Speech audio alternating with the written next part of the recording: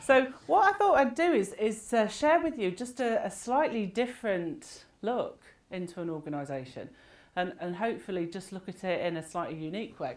I call it alchemy. And people, I live in Norfolk and people say to me, alchemy, is that witchcraft?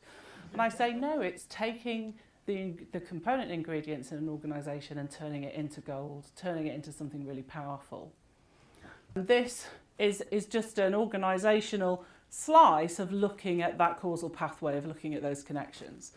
So your people, your human beings come in at this end and at the end of um, the causal pathway, we've got an increase in profitability.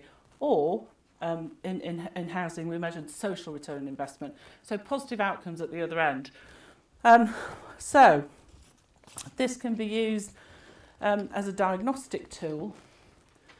And when you've got 101 things to do and a restricted budget, it can help you at an organisation level zoom in where you're going to get the biggest return on your money, whether that's driving efficiency or cranking up levels of engagement. It can just give you a different perspective.